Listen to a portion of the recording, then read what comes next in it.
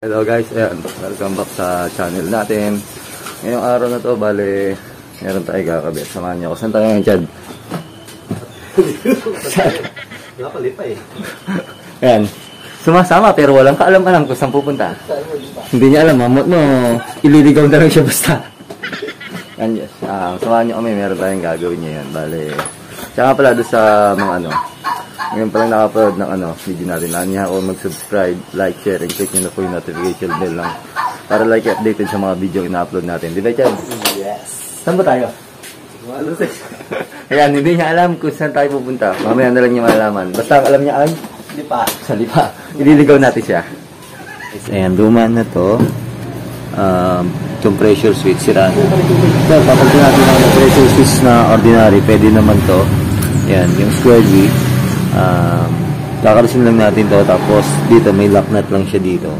Papalit natin. Tapos, ito na yung install natin yung bagong pressure switch na guys.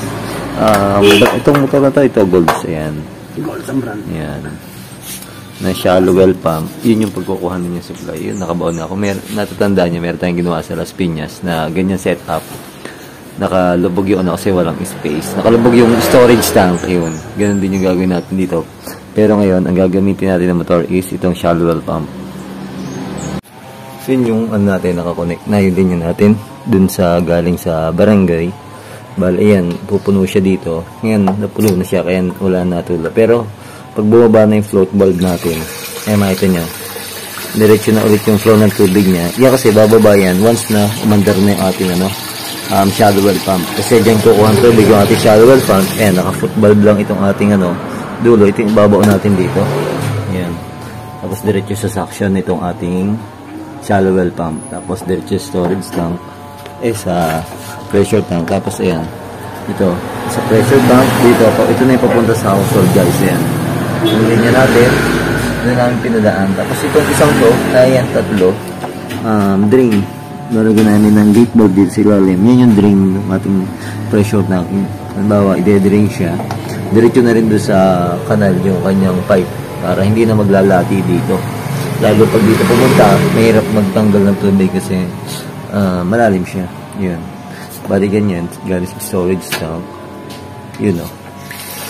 Yan, um, kaya pinuno namin to para mamaya pag natapos na yung linya, basta na lang namin tetesting, hindi na kami mag-aantay ng tubig.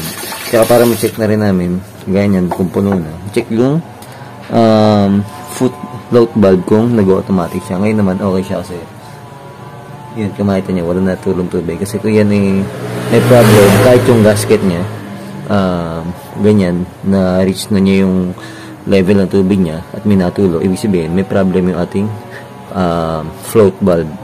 Ayan.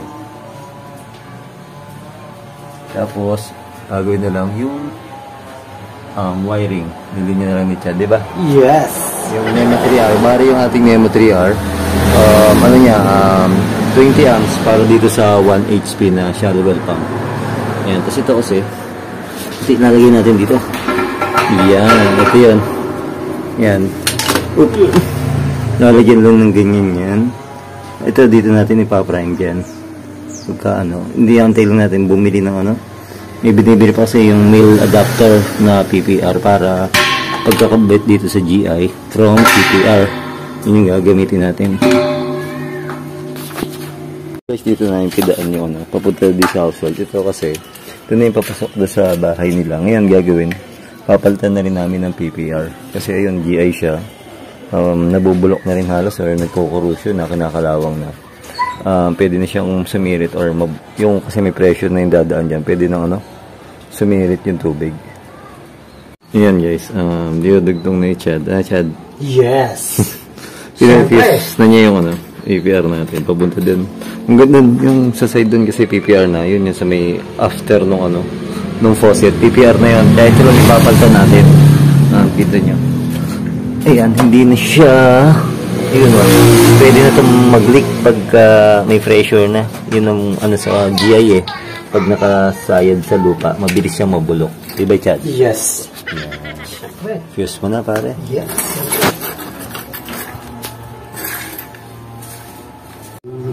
Sino fuse na ni Chad? Yes. Ay, ano na? Nakakanta na, naririnig ko na aray yun? Ay, sakit naman no. ba, may talent ka pala, Chad, ah. Ginawa mo. Anong talent mo, Chad? Kumain. Ah, hindi nakakanta ka eh. Eh, tatago ka palang talent, ah. Tatago na nga lang. eh. Pag mo na ilalabas siya, tago mo na lang yan, ha? Aray. Mainit. Ang Jason setup natin. Bali, yan. Makita niyo, ito yung papunta sa bahay. May gate bulb lang dito para kung ano ba magre-repair sa bahay. Tapos ito yung galing sa drain natin. Itong gate bulb na tayo. Yan. Diretso siya doon, palabas. Yan. Tapos yan, oh. Dito na siya kumuha guys, yung ating pump sa ating storage tank. Yan. Mayroon siyang swing bulb para hindi mag-backflow ang ating pressure. Tapos may gate bulb para in case may problem, um, siya shut off na lang natin yung gate bulb. Ayan guys, um, working na siya. Antayin na natin mag-cut off.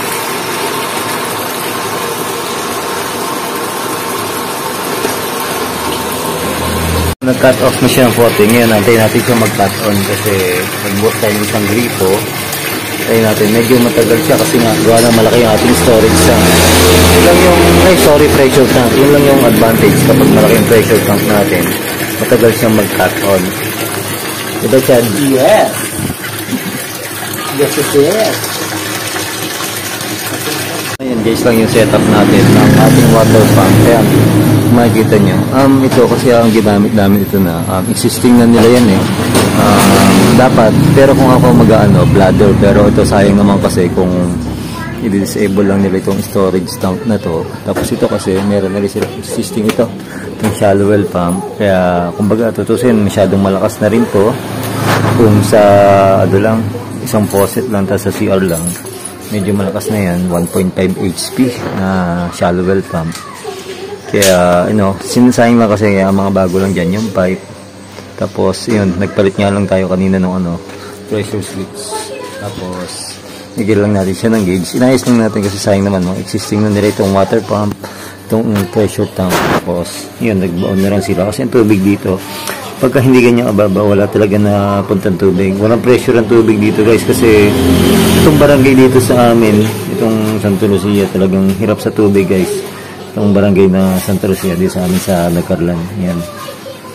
Pero sa ngayon naman at least ito pa na may tubig sila gawa ng nag-stock muna sila dito then higupin ni water pump diretso kay storage. Pressure tank tapos diretso sa loob ng bahay guys yan. Um, lang yung ginawa natin dito? Simpleng simple guys. Pero yun nagkalit tayo ng PPR type. And guys yun yung ano pump na ginawa natin ngayon. Um, dito lang yung sa amin kaya medyo maaga kami nakawi yun yung pump na yun bali existing na nila. Um, dati na yun kinalas lang kas shallow well pump na golds yung brand niya. 1.1.5 eh 1 HP lang yon Um, tapos, ang nabili lang nila is pressure switch, tapos pressure gauge. Yung kasing pressure tank, um, dati na rin yun, naka-propose yun, balak nila magpalagay ng ano, deep well. Kaso, yung pump, sabi ko, hindi siya advisable sa deep well na lalo na yung malalalim. Pang shallow well lang siya. Kasi pagka lumampas na siya ng mga ilang pipe, siguro mga isa hanggang, yung isa kaya pa niya, pero hanggang mga dalawang hanggang tatlo na nakabaon sa deep well, hindi na siya makakahigop ng tubig guys. Ayan.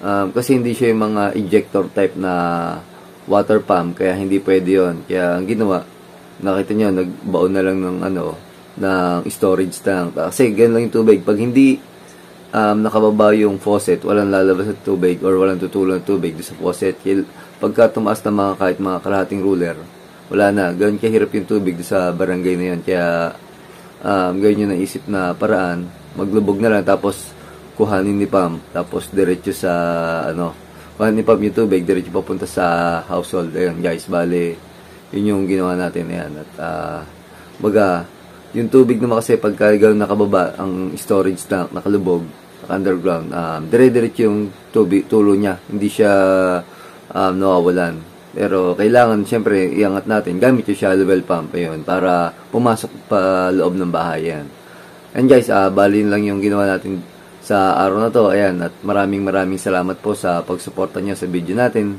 Sa mga ngayon lang nakapanood, naanyahan ko po kayo na mag-subscribe, like, share, and click nyo na po yung notification bell para like updated sa mga video ina-upload natin guys. At Maraming maraming salamat po sa inyong lahat. Um, stay safe po tayong lahat and God bless po.